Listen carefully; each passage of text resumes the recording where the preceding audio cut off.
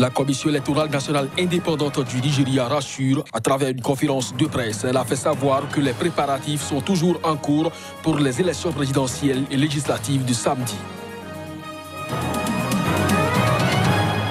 Pas de débat commun de candidats au Sénégal pour la présidentielle. Deux des quatre candidats d'opposition à cette élection de dimanche ont répondu jeudi séparément aux questions d'un panel citoyen. Au Bénin, le processus électoral en cours a du plomb dans l'aile. L'opposition proteste contre le verdict de non-conformité déclaré par le ministère de l'Intérieur à son encontre.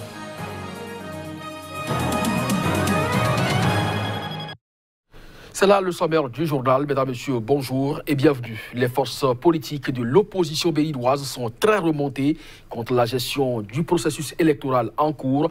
Elles ont effectué dans la soirée du 21 février une sortie médiatique. C'était pour protester contre le verdict de non-conformité déclaré par le ministère de l'Intérieur et de la Sécurité publique. Reportage.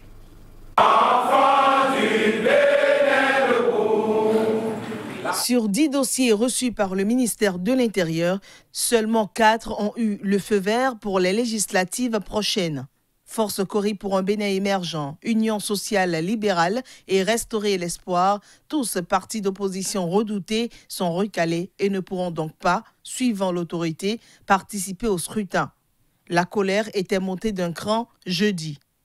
Notre démocratie est fortement en danger. Et pour cause, tous les partis politiques de l'opposition viennent d'être arbitrairement exclus de la course aux élections législatives d'avril 2019. Il nous a été demandé de passer dans la matinée de ce jeudi 21 février 2019 pour retirer un courrier nous notifiant notre exclusion du processus électoral en cours à travers une décision politique basée sur des motifs infondés qui ne figurent pas parmi les multiples observations à nous notifier et auxquelles nous avons donné entière satisfaction. Les partis de l'opposition ont donné un ultimatum aux responsables à divers niveaux du processus électoral de rétablir l'injustice. Le gouvernement Talon sera tenu responsable des déconvenus qui découleraient de ce acte antidémocratique si au plus tard, demain, vendredi 22 février 2019, à 12 heures, les partis politiques de l'opposition ne sont pas rétablis dans leurs droits. Pendant que mouvance et opposition se déchirent, le dépôt de déclaration de candidature a démarré le 21 février pour prendre fin le 26 du même mois. Pour la première fois dans l'histoire, aucun candidat ne s'est aventuré à la Sénat le premier jour pour enregistrement, bien que le dispositif ait été installé. De son côté, la Commission électorale nationale indépendante du Nigeria rassure quant à la tenue à bonne date du scrutin cette fois-ci. À travers une conférence de presse, elle a fait savoir que les préparatifs sont toujours en cours pour les élections présidentielles et législatives de samedi. Tiendront-elles, tiendront-elles pas? Tous les regards sont tournés vers le Nigeria où sont prévues samedi les élections générales. La commission électorale du Nigeria a assuré jeudi que les présidentielles et législatives, qui auraient dû avoir lieu samedi dernier et ont été reportées d'une semaine, auront bien lieu comme annoncé. Sur 84 millions 4084 électeurs inscrits, le nombre total de PVC cartes d'électeurs permanentes collectées s'élève à 72 775 585, ce qui représente 86,3%.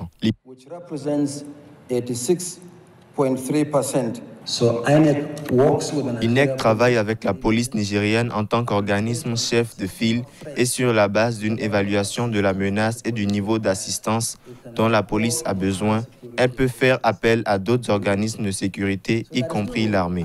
Il n'est pas possible que la CENI souffre d'un manque de personnel. La Commission n'est donc pas au courant qu'il y a un manque de personnel pour les catégories que je viens de décrire.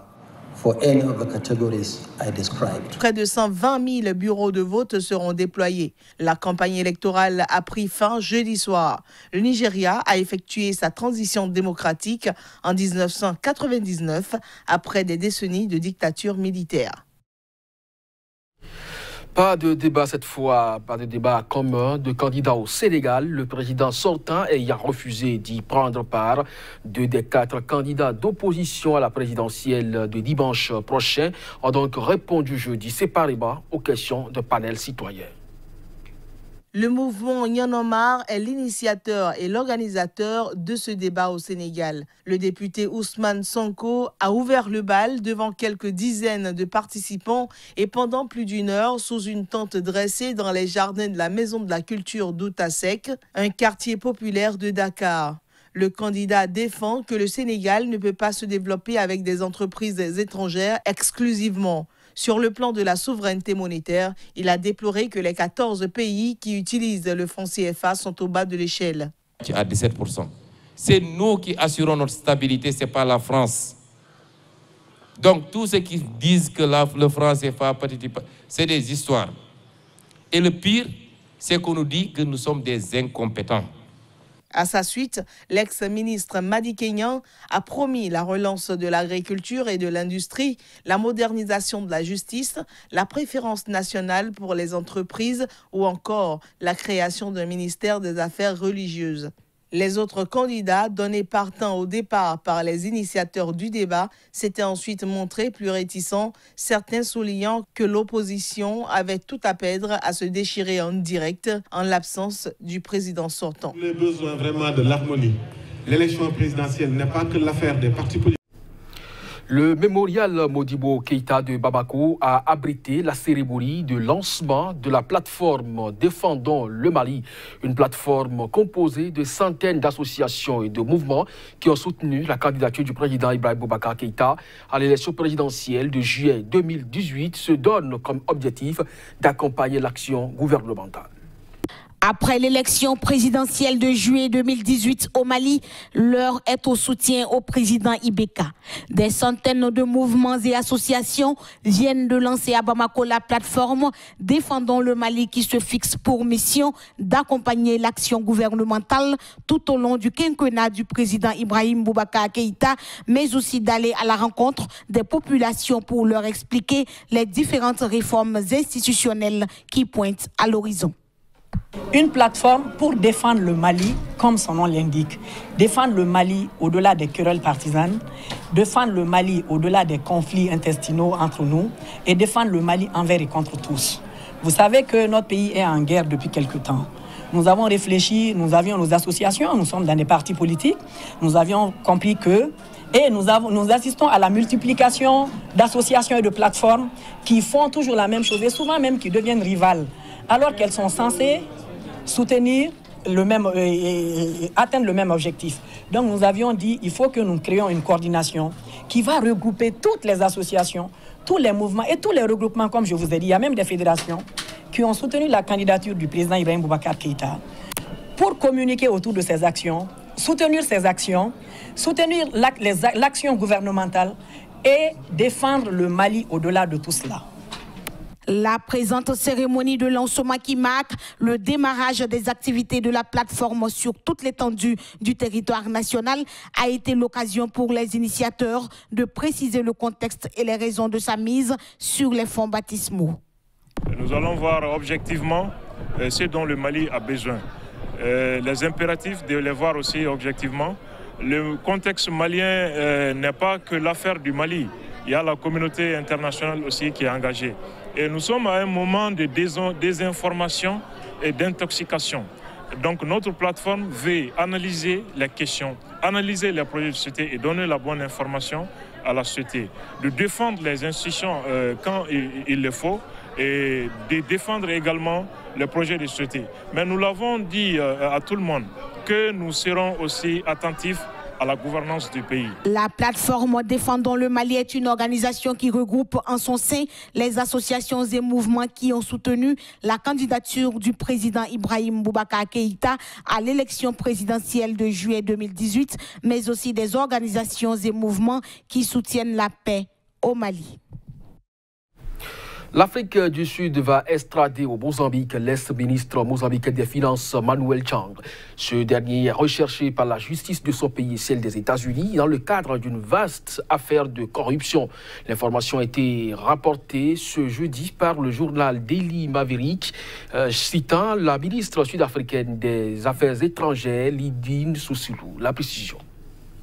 Manuel Chang a été arrêté fin décembre à l'aéroport de Johannesburg sur demande d'un procureur américain et fait l'objet de demandes d'extradition des États-Unis et du Mozambique. Il est accusé d'avoir autorisé des entreprises publiques à contracter des prêts secrets d'un montant de 2 milliards de dollars. Il est soupçonné d'avoir touché 12 millions de dollars de pots de vin pour avoir autorisé ces prêts lorsqu'il était ministre. Jusqu'à présent, nous avons reçu une demande d'extradition de la part du Mozambique et nous l'avons acceptée, a déclaré la chef de la diplomatie sud-africaine, Lindy Wessi Soulou, citée par le journal sud-africain en ligne Daily Maverick. Nous autoriserons le Mozambique à avoir son ancien ministre. Nous l'envoyons au Mozambique pour être jugé.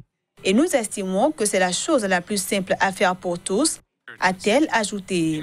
Interrogé, le ministère sud-africain des Affaires étrangères a refusé de confirmer ou infirmer cette déclaration? Nous avons reçu une demande d'extradition de la part du Mozambique et le ministère de la Justice l'étudie, a déclaré le porte-parole du ministère. Nous communiquerons quand le processus sera terminé, a-t-il ajouté. Le scandale dit de la dette cachée qui a plongé le Mozambique dans une grave crise financière embarrasse l'actuel président Philippe Nyusi, ministre de la Défense à l'époque des faits, et candidat à un nouveau mandat à la tête du pays lors des élections générales du 15 octobre prochain. L'ONG Human Rights Watch s'était étonné mi-janvier de la demande d'extradition de Maputo, notant qu'avant le mandat d'arrêt des États-Unis, Chang n'était pas recherché chez lui. Plusieurs responsables de l'opposition étaient réunis ce mercredi à Alger. Objectif, discuter d'une candidature unique à la présidentielle du 18 avril en Algérie. Mais ils se sont séparés en début de soirée sans avancer sur le sujet. Image et son. Dans un bref communiqué, ces responsables, parmi lesquels des candidats déclarés à la présidentielle, affirment simplement leur soutien aux manifestations populaires qui ont éclos ces derniers jours en Algérie contre le cinquième mandat que brigue le président Abdelaziz Bouteflika. Les personnes présentes à la réunion valorisent les manifestations populaires pacifiques et les soutiennent et mettent en garde le pouvoir contre les confrontations avec les citoyens qui ne font que pratiquer leurs droits constitutionnels en manifestant et en exprimant leur refus de la continuité de l'État actuel. Les personnes présentes à la réunion annoncent la continuité de la coopération et de la consultation entre les principaux acteurs opposés à la politique du pouvoir. L'idée de cette discussion a été lancée par Abdallah Djabala, président du Front pour la justice et le développement, FJD, islamiste et ancien candidat à la présidentielle de 2004 face à Bouteflika a notamment pris part à la réunion Ali Benflis, ancien Premier ministre de Bouteflika, devenu son principal adversaire lors des présidentielles de 2004 et 2014. S'il a annoncé son intention d'être candidat, Benflis attend toujours l'aval de son parti, divisé sur l'opportunité de participer au scrutin. Était également présent Abderrazak Makri, chef et candidat désigné du mouvement de la Société pour la paix, MSP, principal parti islamiste, et plusieurs représentants de formations de moindre envergure. Un autre candidat déclaré, le général à la retraite Ali Guédiri, arrivé il y a quelques mois de façon fracassante sur la scène politique algérienne. Il avait décliné l'invitation sans explication et était le grand absent de la rencontre. Élu pour la première fois en 1999 sans opposition, l'ensemble de ses adversaires s'était alors retiré.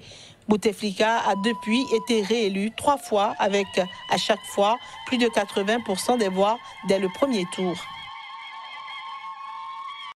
Merci à vous de nous avoir suivis. C'est la fin de cette édition. Très bonne journée en compagnie des programmes de SIGA.